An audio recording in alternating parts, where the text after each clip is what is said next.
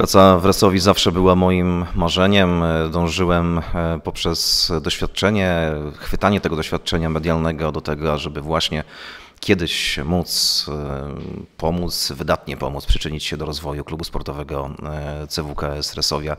Nie ukrywam, jest to absolutne spełnienie moich marzeń. Pomidor. jest rewelacyjnie. Już w Rubelek na weszło powiedział, że trochę zostały poczynione. Dzisiaj może w 40 minucie tak podskoczyłeś. tak urosła.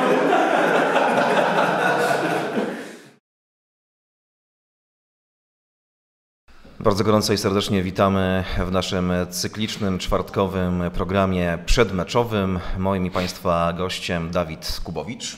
Witam wszystkich. Dawid, y, absolutnie nie zdziwię się, jeśli w księgarniach za kilka lat pojawi się y, książka Twojego autorstwa Budowanie odporności y, psychicznej, bo myślę, że po spotkaniu z Odrą fakultet w tej kwestii masz odfajkowany. No tutaj nie przesadzajmy. Myślę, że trochę kurtuazji w tym jest, ale no, faktycznie mecz nie ułożył się za dobrze dla mnie, ale i dla nas. I, I to już nie chodzi o odporność psychiczną moją, ale, ale całego zespołu, bo, bo błędy się zdarzają. E, wystarczy przytoczyć e, e, mecze na wyższym poziomie, tak jak ostatnio oglądaliśmy wszyscy reprezentację Polski, mecz na Wembley. Jones robi fatalny błąd, który skutkuje utratą bramki, co nie przeszkadza mu w pod koniec meczu e, zgrać i asystować przy e, zwycięskiej bramce dla Anglii. Także takie mecze się zdarzają, ale mówię, to już nie chodzi tutaj o moją odporność psychiczną, a raczej o, o to, jak e, pozytywnie zareagował zespół na, na stratę bramki, bo, bo bramkę można stracić w różnych sytuacjach. No, nie fart spadł na mnie taki, że, że akurat był to gol samobójczy. No, prywatnie, prywatnie bardzo się cieszę, że, że to jednak mi udało się no, doprowadzić do, do tego remisu. Pamiętamy doskonale siódmą kolejkę, wówczas gościliśmy w Łodzi. Tam zostaliśmy pokonani przez ŁKS 2 do 1. Obie bramki padły e, po rzutach karnych i myślę w tym momencie należałoby zakończyć i spuścić nad tym zasłonę milczenia. E, no tak. E, ci ludzie, co oglądali to spotkanie, doskonale pamiętają przez E, dwa pryzmaty naszej niezłej gry, co, co było dużym zaskoczeniem, bo, bo nie spodziewano się, że na UKS-ie tak dobrze będziemy grali. No i dwóch bramek, które dostaliśmy praktycznie po, po błędach sędziego. Druga bramka z karnego, gdzie faulował rzekomo kiełbasa w polu karnym. Było widać doskonale, że to było z półtorej metra przed, przed polem karnym.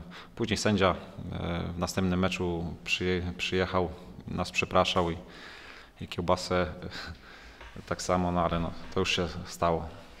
No, tak czy inaczej, na pewno jest to najczarniejszy moment e, Bartka Kiełbasy dotychczas w Resowi, bo no, pierwszy raz widziałem, że chłopak schodzi no, z łzami w oczach z murawy boiska.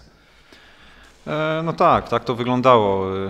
No nie fakt, że, że, że tak naprawdę Bartek cierpiał w tym meczu, no tak naprawdę nie, nie, nie za swój błąd, tylko za, za, za błąd sędziego, ale no, takie rzeczy, rzeczy się zdarzają i e, Bartek później dobrze zareagował i życie toczy się dalej. No.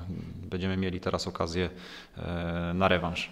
Spoglądanie na wyniki rywala myślę nie ma w tym momencie absolutnie sensu. E, natomiast my metodą tych e, małych kroczków, o której mówi trener, teraz zapewne z wielkimi apetytami i ambicjami na postawienie tego wielkiego kroku. No tak, tutaj e, nie tylko trener, ale każdy e, po tych meczach podkreśla, że, że, że każdy punkt trzeba szanować i, i waga tych punktów, e, jak one cenne, okaże się po sezonie. Szanujemy te punkty, jednak też widzimy w tabeli, co się dzieje, jak drużyny z dołu wygrywają. Także na pewno będziemy dążyli do zwycięstwa. W każdym meczu dążymy do zwycięstwa. Ostatnio wygraliśmy z Termaliką, później dwa remisy. No, liczymy, że, że teraz e, będą trzy punkty. Czeka nas bardzo medialny e, pojedynek, który już elektryzuje e, piłkarską Polskę i gdzieś te oczy zwrócone jednak na Rzeszów. No tak, są to dwie firmy, te, te pojedynki są elektryzujące. E, ŁKS e, z troszkę innymi celami. My mamy cele gdzieś tam z dołu w walce o utrzymanie, także na pewno będzie to pojedynek gorący dla jednej i dla drugiej strony. Zwykło się mówić, pokaż obronę, a powiem Ci, jaki masz zespół, więc Wy ten PR dla Rasowi robicie całkiem niezły. No tak, ta, ta, ta, ta, ta gra jest szczelna, no ale e, tak e, dobra defensywa powinna cechować no, szczególnie drużyny, które, e, które mają dużą presję związaną z walką o, o utrzymanie. Cały zespół nasz na to pracuje i no i w ostatnich meczach no, ta gra defensywna wygląda całkiem nieźle. Musimy poprawić trochę skuteczność, bo, bo też ostatni mecz pokazał, że, że mieliśmy kilka sytuacji i, i udało się wyciągnąć remis, a przy odrobinie szczęścia powinniśmy ten mecz wygrać. Zmieniając temat, 111 resowiackich cegiełek rozeszło się do tej pory. Najwięcej, co ciekawe, y, właśnie goldów, czyli DJ Kubo zapodał bit i wszyscy w to poszli. Resowiacy, fanatycy, bez zbędnego zachęcam do zakupu Gold Card 150 zł. A, cieszę się bardzo. E, kibice wspierają nas nie, nie od dziś, nie od wczoraj. E, także dobrze, że ta moja złota cegiełka. Ale w kapturze fajnie powodzeniem. wyglądasz, Kuba, naprawdę. Trafiłem klimatem.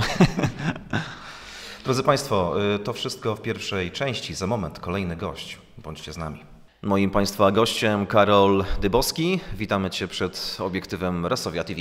Witam wszystkich kibiców, witam Ciebie Paweł. Zaczynamy od naszego ulubionego y, tematu, myślę, że Państwa również. Y, oczywiście, boiska.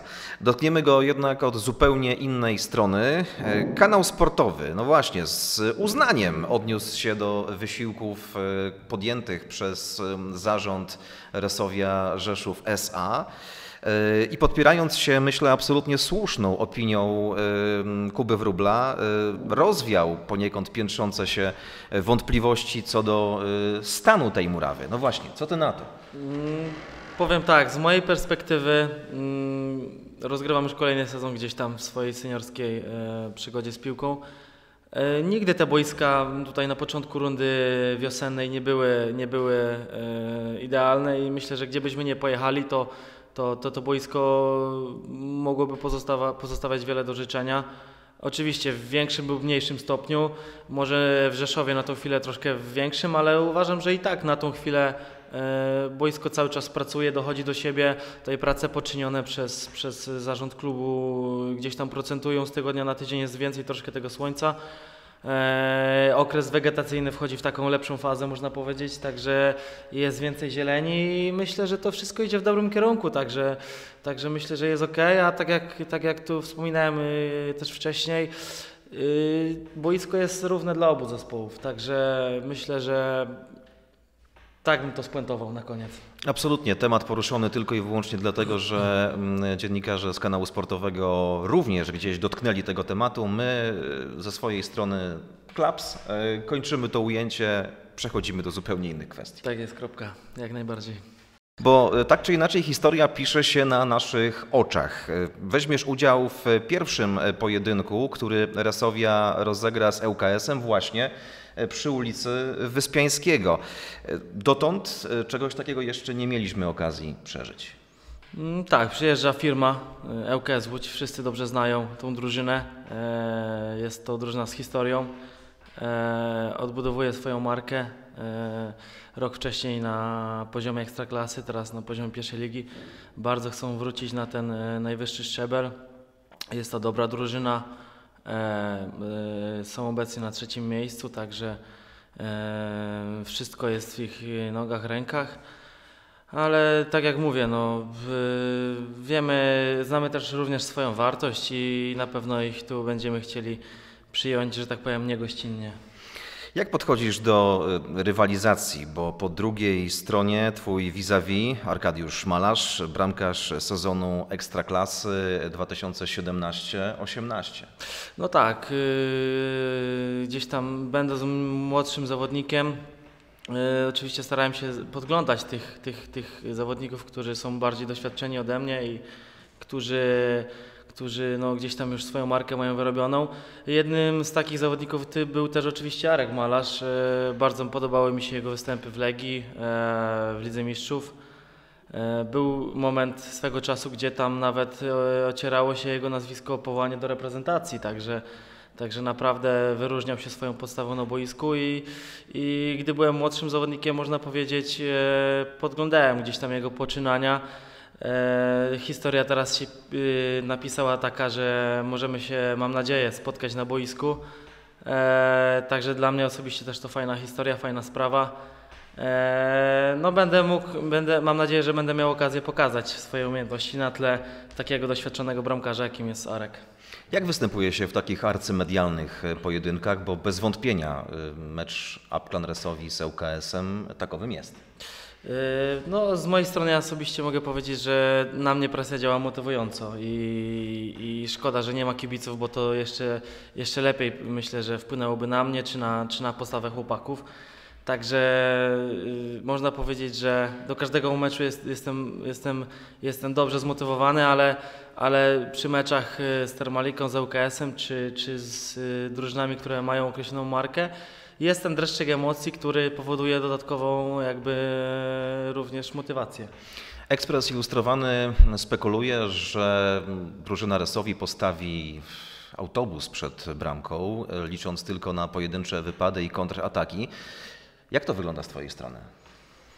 Szczerze mówiąc, y, myślę, że celu święca środki i jeszcze nie mamy stricte sprecyzowanej taktyki na ŁKS. E, Będziemy analizowali, e, będziemy analizowali tą drużynę w tym tygodniu. E, I na pewno znajdziemy jakiś sposób, żeby troszkę im napsuć krwi. Także myślę, że myślę, że jeżeli ktoś tak mówi, no to może wie lepiej niż my już, co będziemy grali. Także my jeszcze tego nie wiemy, analizujemy to i to jest proces żmudny, który wymaga chwilę czasu i przygotowania do tego. Trwa to cały tydzień. Nasi kibice po raz kolejny stanęli na wysokości zadania, mimo tego, że mm, cieleśnie nieobecni e, na trybunach, ale jednak e, w sieci, sercem cały czas z nami. No tak, to na pewno cieszy, to na pewno cieszy taki odzew. Y, Bodajże 111, dobrze mówię? Tak. 111 cegiełek, także no I to super. jeszcze pewno nie koniec. I to jeszcze pewno nie koniec, no to jeszcze może Kubo coś nagra i wtedy będzie drugie tyle. E, Znaczy wiesz, tutaj myślę, że wszystko tkwi w szczegółach, e, bo tembr głosu ok, pomysł na e, autoprezentację Jasne. też, ale ten kaptur.